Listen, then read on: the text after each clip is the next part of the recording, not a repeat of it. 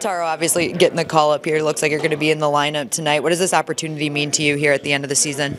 Um, yeah, I mean it's a big opportunity for myself just to you know show I can still play in this league, and um, you know I've been having a good season down in GR and just trying to you know come up here and play well. How have you felt your game's grown from this the last time you were up here until now? Um, yeah, I mean, a bunch of different things. I think offensively, you know, continue to grow, and um, defensively, really opened up my game, and um, that's been a big, uh, you know, area for me to, for this season.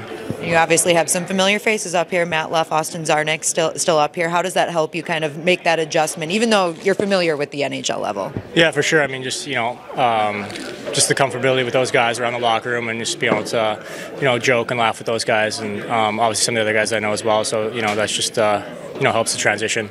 And knowing where the Red Wings are right now in the season, obviously not mathematically removed from the playoffs, but just trying to finish on a strong note. How are you going to help them do that here?